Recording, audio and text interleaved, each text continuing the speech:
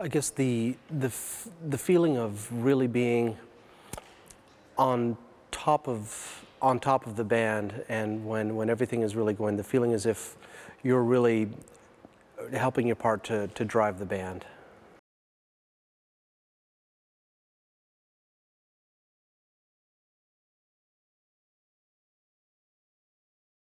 Um, as you mentioned, playing with playing with the drums is is uh, is a very important part about it, and the the connection between the two is what's going to be a uh, a major factor in the degree of swing that a band can achieve.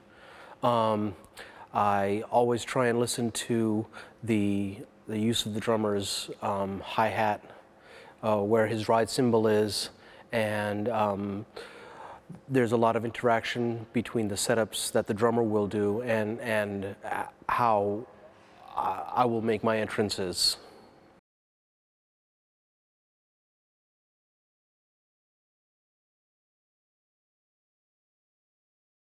Uh, it's wonderful. This is really it's it's been a, a fascinating experience and and um, it's great to to be able to. to uh, to bring some of my experience to uh, to the younger players, and and it's great to receive the all the enthusiasm that they bring to the project as well.